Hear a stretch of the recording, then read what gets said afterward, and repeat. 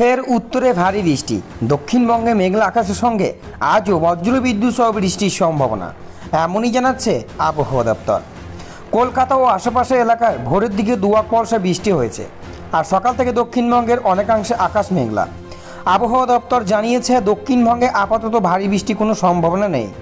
তবে অন্যদিকে উত্তরবঙ্গে ভারী বৃষ্টি চলতে পারে পয়লা জুলাই পর্যন্ত। এমনটাই জানিয়েছেন তারা। তবে দক্ষিণবঙ্গের জেলাগুলিতে আর্দ্রতাজনিত অস্বস্তি বজায় থাকবে বলে পূর্বাভাসে বলা হয়েছে।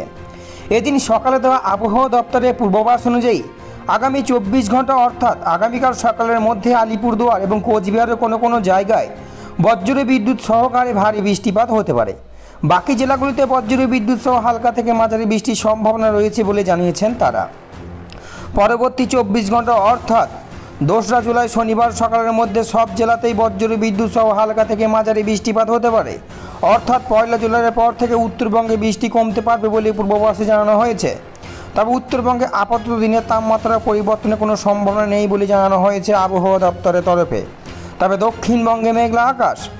এদিন সকালে দেওয়া আবহাওয়া দপ্তরের পূর্বাভাসে বলা হয়েছে, আগামী আটচল্লিশ ঘণ্টা অর্থাৎ শনিবার সকালের মধ্যে দক্ষিণবঙ্গের সব জেলাতেই বজ্রে বিদ্যুৎ সহ হালকা থেকে মাঝারি বৃষ্টির সম্ভাবনা রয়েছে। আকাশ মেঘলা থাকবে। আপাতত দক্ষিণবঙ্গে ভারী বৃষ্টির পূর্বাভাস নেই।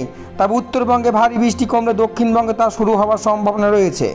তবে উত্তরবঙ্গে ভারী বৃষ্টি কমার সঙ্গে সঙ্গে যে দক্ষিণবঙ্গে তা শুরু হয়ে যাবে, এমন কোনো পূর্বাভাস নেই আবহাওয়া দপ্তরের তরফে।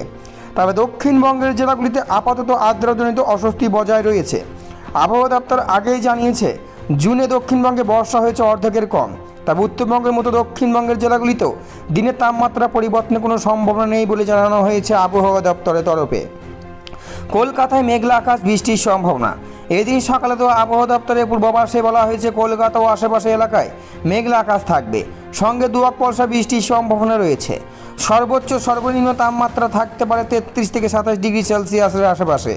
এদিন কলকাতার সর্বনিম্ন তাপমাত্রা সাতাশ পয়েন্ট এক ডিগ্রি সেলসিয়াস, যা স্বাভাবিকের থেকে এক ডিগ্রি বেশি, যা সর্বোচ্চ আপেক্ষিক আর্দ্রতা রয়েছে একানব্বই শতাংশ।